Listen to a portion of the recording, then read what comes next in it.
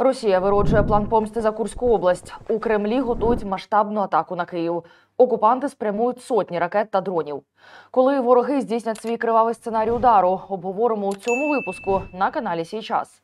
Перед початком не забувайте підписатися і переходимо до важливого. Після початку гарячих бойових дій у межах Курської області Російська Федерація готуватиметься до масштабного удару по центрах прийняття рішень у Києві. Видання The Times попередило про те, що Кремль розробляє сценарій відплати. Разом з тим, високопоставлене джерело в українському оборонному відомстві розповіло, що наразі і Україна готується до агресивної відповіді РФ за наступ українських військ на російське прикордоння. Ймовірно, варто очікувати комбінованої атаки. Далі цитую. Це можуть бути сотні повітряних цілей з використанням складного озброєння, крилатих ракет, балістичних ракет і шахедів. І це може стати великою проблемою для нашої протиповітряної оборони. Але я вірю, що ми зможемо її зупинити, додало джерело. Крім того, у статті говориться, мовляв, Російська Федерація може атакувати важливі цілі у Києві, включаючи парламент та інші урядові будівлі. Після початку мілітарної операції та кількох днів мовчання вже і президент України Володимир Зеленський натякнув на просування ЗСУ у Курській області, заявивши, що Київ витискає війну на територію агресора. Неназваний високопоставлений український силовик у розмові з журналістами Associated France Press пояснив, навіщо взагалі це робиться. Далі його слова. Ми йдемо в наступ. Мета розтягнути позиції ворога, завдати йому максимальних втрат і дестабілізувати ситуацію в Росії, оскільки вони не в змозі захистити власний кордон, сказав анонімний інформатор. Тим часом у самій державі-агресорці СВО йде по плану. Жодної необхідності проводити мобілізацію в Росії через ситуацію в Курській області немає. Бійців на фронті вистачає, запевняє голова комітету Держдуми РФ з оборони Андрій Картаполов. Та кулуарно у Москві вже обговорюють кадрові пертурбації. Поговорюють, що Путін замінив начальника генерального штабу РФ Валерія Герасимова на директора Федеральної служби безпеки Росії Олександра Бортнікова як главу контртерористичної операції у Курській області. Тим часом аналітики інституту вивчення війни вважають, що таке призначення може вказувати на невдоволення диктатора тим, як військове командування керує ситуацією на межі РФ з Україною. Насправді, злість Путіна не безпідставна. Буквально днями змі писали, що Герасимов відверто набрехав своєму так званому президенту щодо ситуації на Курщині. Це помітив журналіст нової газети Валерій Ширяєв, і про це пише The Moscow Times. Під час засідання Ради безпеки, яке відбулося 7 серпня, Герасимов доповів Путіну, що на територію РФ увійшло близько тисячі солдатів ЗСУ. Хоча вже на той момент воєнкори і інші пропагандисти називали значно більшу цифру.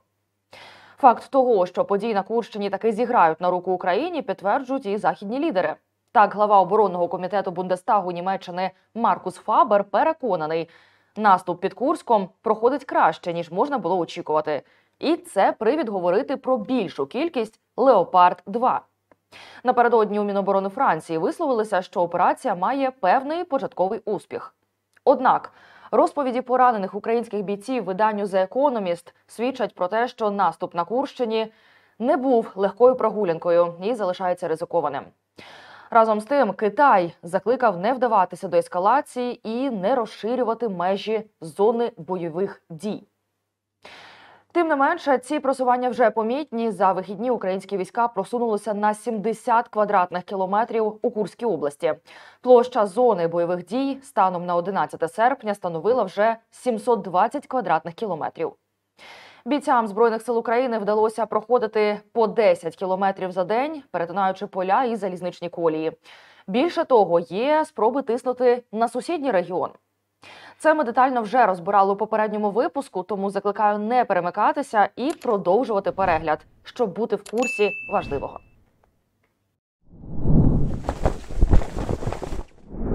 Площа бойових дій у Курській області продовжила зростати. Росіяни не змогли витіснити ЗСУ попри прибуття в регіон додаткових сил. Разом з тим вже почався тиск на Білгородщину. Тамтешня влада оголосила евакуацію. Що відбувається на російському прикордонні? Про це говоримо у свіжому випуску на каналі Сій час. Із вас підписка і почнімо. Загальна площа, на якій розгортаються збройні баталії у російській Курській області, вже становить близько 720 квадратних кілометрів. Про це свідчать підрахунки журналістського проекту Агентство станом на неділю, 11 серпня. Це на 70 квадратних кілометрів більше ніж днем раніше. При цьому російська влада визнала, що ЗСУ здійснили рейд у Біловський район. У ніч на понеділок, 12 серпня, бої не припинялися.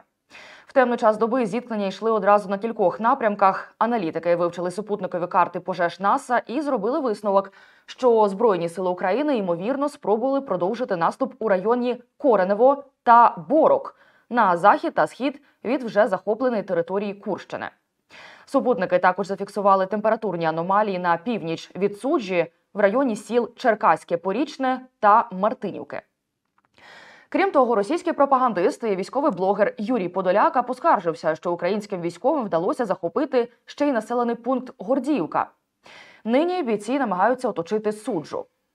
Однак The Economist цитує анонімного співрозмовника в українському генштабі. Той стверджує, що Росія переміщає війська в Курську область і з інших ділянок фронту не так швидко, як хотілося б ЗСУ. Як пише видання, мінімальна мета України в ході операції в Курській області полягає в тому, щоб відтягнути російські війська із Харківського і Донецького напрямків. Росіяни перекинули частину військ із Харківського фронту, але з Донецького, де триває активний наступ, набагато менше. Далі цитую. Їхні командири не ідіоти. Вони перекидають сили, але не так швидко, як хотілося б. Вони знають, що ми не можемо розширити логістику на 80 чи 100 кілометрів. Повідомило джерело. Втім, у Росармії на ранок понеділка з'явився новий головний біль. Розпочалася атака ЗСУ на прикордонний пункт Колотилівка у Краснояружському районі. Про це повідомляють Z-канали. Зокрема, новий вектор наступу підтвердив близький до Міноборони РФ телеграм-канал Рибар. За їхніми даними, українські військовослужбовці намагаються прорватися за допомогою танків, бронемашин і піхоти. Підрозділи прикриття кордону прийняли бій. Працює авіація. Йдеться у дописах. Тим же часом воєнкор Коц нівелює спроби прориву. Мовляв, жодних танкових колон не було. Виїхали на прикордонний перехід танк і пара БТРів. Танк почав розбирати мап, стріляв протягом 5-6 хвилин, а потім полетіла відповідь. Противнику влупили, і він відкотився. Кінець цитати. Але паніка серед керівництва Білгородщини говорить про інше. На тлі прориву губернатор Білгородської області В'ячеслав Гладков оголосив із Красноярушського району евакуацію. У нас тривожне утро, Активність врага на границі Красноярушського района. Уверен, что наши военнослужащие сделают все, чтобы э, справиться с возникшей угрозой.